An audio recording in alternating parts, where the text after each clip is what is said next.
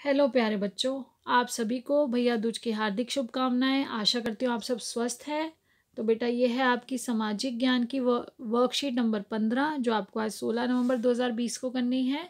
सभी बच्चे अपना नाम, अपने क्लास टीचर का नाम लिखेंगे और पाठ का नाम पंचायती राज ज़रूर लिखेंगे। तो बेटा, आज हम पढ़ने वाले हैं ग्राम पंचायत। जैसा कि आपको पता है बेटा, हमारी जो भारत की सरकार है, वो कैसी है? जनतंत्र, यानी कि लोगों का शासन, लोगों के द्वारा, लोगों के लिए तो उसका ही एक भाग है पंचायती राज व्यवस्था, जो ऐसी प्रक्रिया है जिसके द्वारा लोग अपनी सरकार में भाग लेते हैं, क्योंकि लोगों की ही सरकार है, और गाँव के स्तर पर, गाँव में जो सरकार, जो इस व्यवस्था को पूरा करते हैं, इस व्यवस्था को लागू करने के लिए जो गाँव स्तर पे होता है, उसे बोलते हैं पंचायत, ग्राम पंचायत। ग्राम बेटा, ग्राम बोला जाता है गाँव को, और गाँव में जो वो प्रक्रिया है, वो है पंचायत, यानी कि पंचायती राज। अब देखिए, एक ग्राम पंचायत कई वार्डों में, क्योंकि ग्राम एक गाँव तो बहुत बड़ा होता है, उसको छोटे छोटे क्षेत्रों, यानी कि वार्डों में बांटा जाता है।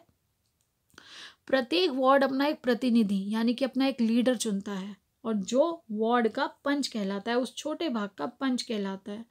और ये सब पंच, सभी वार्डों के पंच मिलकर क्या बनाते हैं? पंचायत बनाते हैं और ग्राम सभा यानी कि वो मीटिंग। ये देखिए, ये ग्राम सभा हो रही है ना, सब लोग यहाँ आए हुए हैं और ये यहाँ पर ये कौन बैठे हैं? ये सब पंच बैठे हैं और इनमें से एक है सरपंच जो इनका लीडर होगा और ये सभी लोग हैं। तो ग्राम सभा क्या है? एक ऐसी सभा जिसमें गाँव के सभी व्यस्क, जो कि 18 वर्ष से 18 वर्ष या 18 वर्ष से ज़्यादा की उम्र के लोग हैं, वो सभी व्यस्क माने जाते हैं। उन सभी को वोट देने का अधिकार है। अगर आपसे पूछा जाए कि वोट देने का अधिकार किसको है तो अगर हमारा कोई भी भारत का नागरिक है, जो 18 वर्ष या उससे अधिक की उम्र का है, वो वोट डाल सकता है। जिसका नाम ग्राम मतदाता सूची में हो, वो वहाँ पर सभा में उपस्थित हो सकता है। तो यहाँ पर जो सभा है, ग्राम सभा सभा आपसे पता चल रहा है कि एक मीटिंग। ग्राम सभा के सभी सदस्य मिलकर सरपंच का चुनाव करते हैं। अब ग्राम सभा के जो सदस्य हैं, ये मिलकर अपना जब लीडर चुनते हैं तो उस लीडर को कहा जाता है सरपंच, यानी कि पंचायत का मुखिया। सरपंच कौन होता है? वो पंचायत का मुखिया होता है।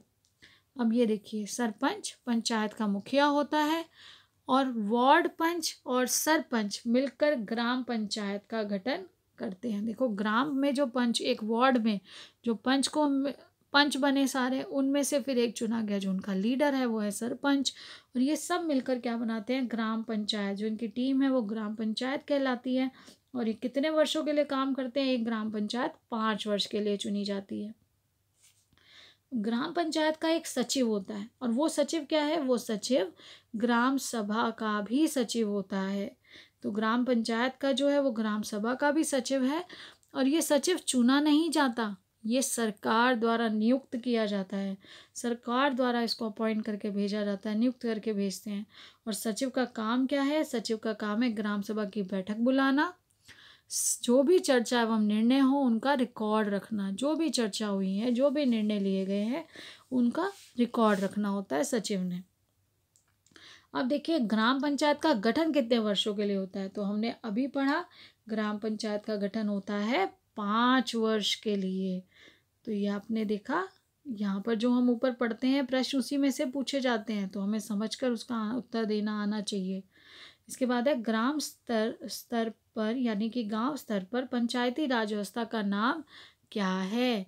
तो बेटा, ग्राम, ग्रा, गाँव के स्तर पर इस व्यवस्था को ग्राम पंचायत कहते हैं। ये देखिए, गाँव के स्तर पर इस व्यवस्था को ग्राम पंचायत कहते हैं। ये आपका है उत्तर नंबर दो। इसके बाद है आपका प्रश्न नंबर तीन। ग्राम पंचायत, उसका उत्तर हो गया। तो अब आपका प्रश्न नंबर तीन है ग्राम पंचायत के सचिव के क्या क्या कार्य होते हैं? तो ग्राम पंचायत का जो सचिव होता है, उसका काम है ग्राम सभा की बैठक बुलाना और जो भी चर्चा या निर्णय हुआ है, उसका रिकॉर्ड रखना। तो ये है आपका उत्तर नंबर, आंसर नंबर तीन। जो भी चर्चा होगी, उसका रिकॉर्ड भी रखेगा। जब हमें ज़रूरत है बैठक की तो वो बैठक भी बुलाएँगे। अब देखिए, आज है हमारा कोविड संबंधी व्यवहार। तो कोविड संबंधी जो व्यवहार संदेश है, वो है कोविड नाइन्टीन के विरुद्ध जंग में सुरक्षित रहने के लिए बेटा मास्क पहने, अपने हाथ नियमित रूप से साबुन और पानी से धोते रहें और साथ ही साथ शारीरिक दूरी दो दो फीट या जो हमारी छः फीट और दो गज़ की जो दूरी है, दो फीट नहीं, दो, छः फीट और दो गज़ की दूरी का ध्यान रखना है ताकि हम सभी जागरूक रहें, बाकी सबको भी जागरूक बनाए रखें और कोविड नाइन्टीन को जल्द से जल्द हरा सकें। आशा करती हूँ आप सब इन बातों का ध्यान रखेंगे, अपना काम समय पर कर कर भेजेंगे। इसी तरह से बेटा keep learning and enjoy learning stay blessed and healthy and be in touch with us thank you